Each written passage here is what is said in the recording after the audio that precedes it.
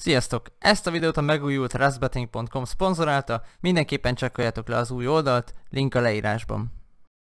Üdvözlök mindenkit a következő Deblok bemutató videóban, amiben a Deblok 185-ről lesz szó, nézzük is, hogy mi történt az LT patchben.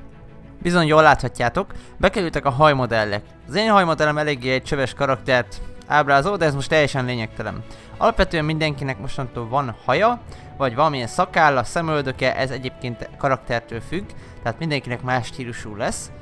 Tapasztaltok néhány bogot a különböző sisakokkal és fejfedőkkel kapcsolatban, de természetesen ennek a hétnek az a lényege, hogy ezt most leteszteljük. Úgyhogy ne repüljetek meg, hogyha a játék közben esetleg érdekességeket tapasztaltok, amikor fejetekre vesztek valamit. Ó, és majdnem elfelejtettem, nem csak a fejeteken tapasztalhattok valamilyen szőrzetet.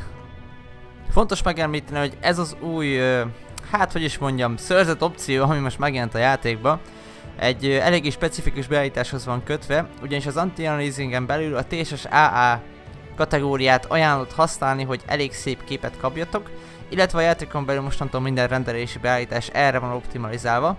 Terveznek egyébként beállítani egy külön funkciót, egy külön gombot, amivel a szőrzet, vagyis hát igazából a haj, hát a haj és a szőrzetnek a kinézetét tudjuk majd állítani, és nem kell az anti-analyzing-kel babrálni, hiszen az eléggé eszi a gépeteket. Viszont, hogyha viszonylag jó gépetek van, akkor érdemes ezt maxra tenni, és egészen jó kinézetet kaphattok.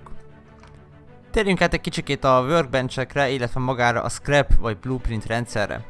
Érkezett egy újítás, amely tulajdonképpen annyit ad, hogy mostantól a workbencheken belül tudtok random itemeket generálni. Ez hasonló ahhoz, amikor régebben a blueprintekből könyveket csináltál, vagy lapokat, és abból kitanultál egy véletlenszerű receptet. Nos, most ez úgy néz ki, hogy a level 1-es workbenchbe, hogyha beleteszel 100 scrapet, legalább 100-at, de alapvetően 100 kell hozzá, akkor 100 scrapből csinál neked egy véletlenszerű blueprintet. A véletlenszerű blueprint úgy néz ki, hogy a level 1-es workbenchen belül bármi, amit azon belül kell craftolni, azt adhat. Tehát ha mondjuk lehet azon belül craftolni, ö, nem is tudom mondjuk, létrát, akkor adhat létrát. Ha shotgun trappet, akkor shotgun trappet. Teljesen mindegy, csak azt adja a level 1-esen belül, amit azon belül tudná craftolni.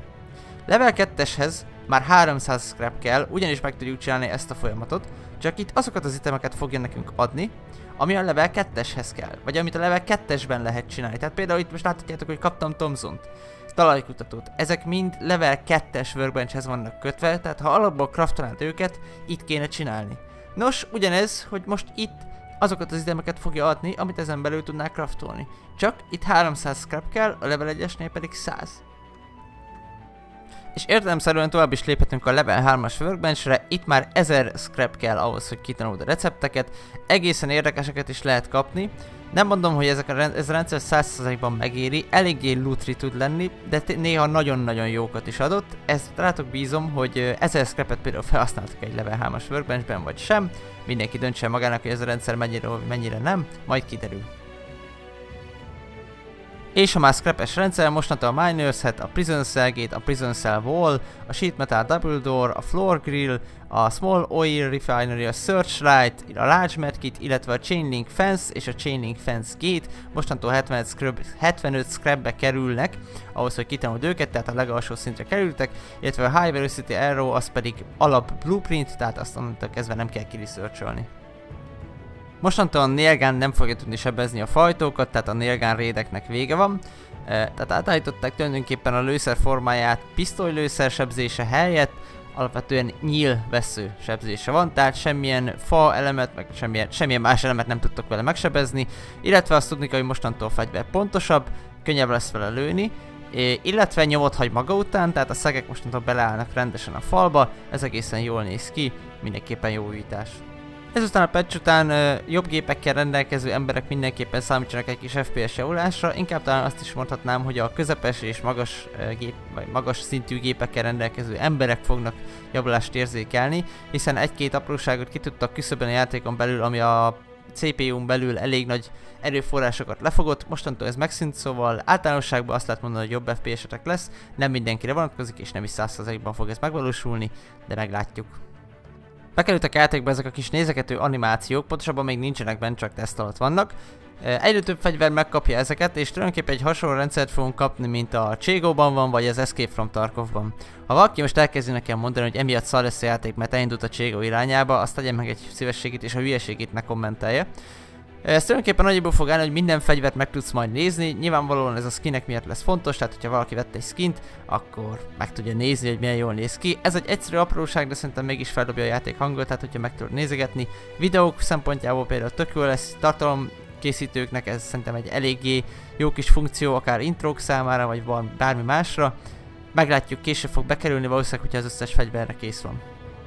Közeljövőben számíthatok arra, hogy mostantól a lövedékeknek egyaránt a környezetre és az emberekre is lesz egy kicsit nagyobb hatás, mint ahogy eddig.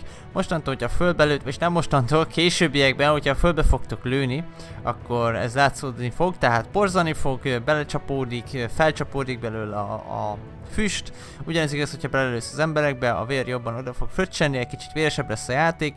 Ez még egyenlőre nincsen bent, de fejlesztés alatt és valószínűleg heteken belül be fog kerülni. A közeljövőben számíthatok arra is, hogy a Launchside-nak több feljárója lesz, mint a megszokott mostani kettő, hanem legalább 3-4, illetve arra is számítani kell, hogy mostantól a Launchside belsejébe is több átvezető híd lesz, több lesz a PvP-re alkalmas pozíció, jobban el lehet majd rejtőzni, helyezkedni, illetve azt nem mondom, hogy kempelni, mert ugye jelenleg uh, eléggé sugárzás veszélyes a terület, tehát kempelni nem igazán lehet, illetve azzal, hogy több feljáró lesz, megint csak a kempelés valószínűleg meg fogják szüntetni. Viszont azt írták, hogy ha lesz három vagy négy, vagy akár több feljárója is, és nehezen lehet majd bevédeni magát a területet, akkor lehet, hogy ezt a sugárzást vagy kiveszik, vagy csökkentik annyira, hogy lehessen kempelni, Viszont arra számítani kell, hogy rengeteg helyről fel lehet majd jönni. Én nem tudom, ezt igazából nem tartom jó ötletnek. Nem fix a dolog, szóval ne akadjatok ki, nem biztos, hogy így lesz. Um, véleményem szerint jobb lenne, ha megmaradna a sugárzás, egy kicsit csökkentenének rajta, egy kicsit. De van nagyon hasonlóképpen erős, és legyen ugyanúgy több feljáró is, mert egyszerűen annyira kulcsfontosságú lett ez a rad a játék életében, hogy talán a többitől teljesen elveszi a hangsúlyt, és nincs is értelme máshova költözni. Úgyhogy ha már ennyire OP és ennyire mindenki idejön, szerintem maradjon a sugárzás, és legyen több feljáró. Ezt meglátjuk a közeljövőben, hogy valósítják meg. Szerintem Forced Vipe-ig egészen biztosan nem fog változni ez a dolog, úgyhogy van még bő egy hónapunk. Hát talán egy hónap már nincs, de jó pár hetünk még, hogy élvezzük úgy, ahogy most van, aztán... Aztán meglátjuk, hogy hogy alakul. Nem tudom, hogy feltűntem valakinek, de a karaktereknek a válla eléggé retardáltú helyezkedett el hát ez mostantól változni fog, úgyhogy ettől a héttől kezdve ismételten normálisan néznek ki a karakterek, amikor eszközt fognak a kezükben.